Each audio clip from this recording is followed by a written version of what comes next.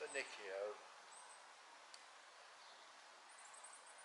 we've all we all do this. Sort of we hold hands, and uh, we do it from that. And why is he holding my hand?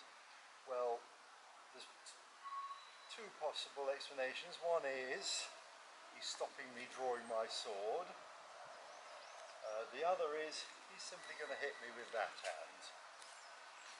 Um, okay, so so we, we're all used to doing this, starting here and then doing this sort of thing. That's fine. Now,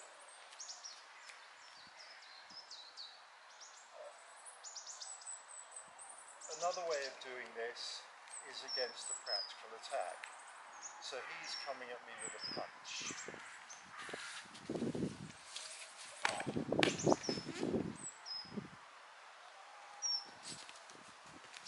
So what we're doing here is he's coming, I'm, I'm balancing him with that. I'm going right round behind him and applying Nikkyo. Now if necessary, I go through Ikkyo as he rises, I apply the Nikkyo. Then I finish.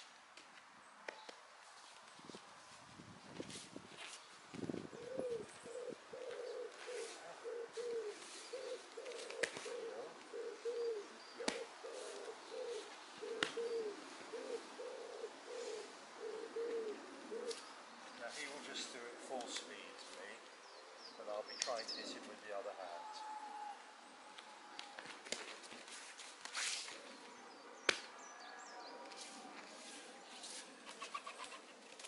So you'll notice that he went all around, all the way round my body, ended up there, a full three-quarter turn. Because if he only turns a bit, bang, he's assuming he gets get socked. So this first bit has to work.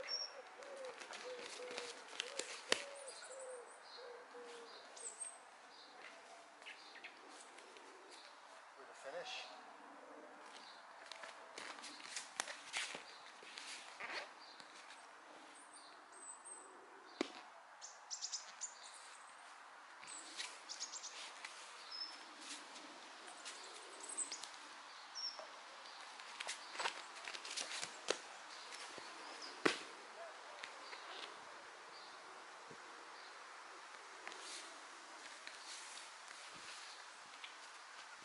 So the point with Nikkyo is it, it isn't about this.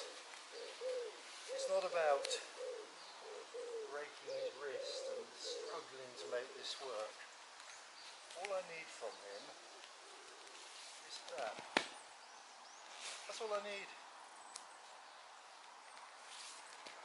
Just, just that. So what that enables, if he hangs on, is for me to take him down.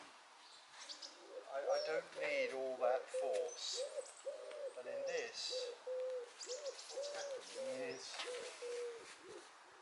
he's bringing himself. I don't have to do anything. Come, come on then. okay? You see, this is how Nikkyo works. I mean, obviously I have to keep my bits out of the way. But if he, he can't come at me because the minute he does, it's on. That's how Nikkyo works. It doesn't work by force, and I know I'm talking to obviously people who perhaps struggle with Nikkyo rather than experienced people who've heard all this before. But if you can get this out of your mindset that you have to, well, perhaps we'll try that wrist just in case. So it's not I force it onto him. Now, he comes towards me now,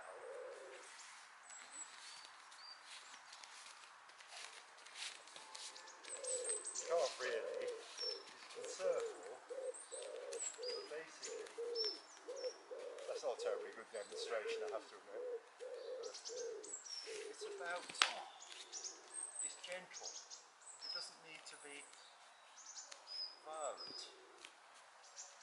And with the motion, uh, the uke is basically bringing it onto themselves. So, however you're gaining it, and this is how you might gain it from a practical attack. So we, we would use Menuchi possibly in the dojo.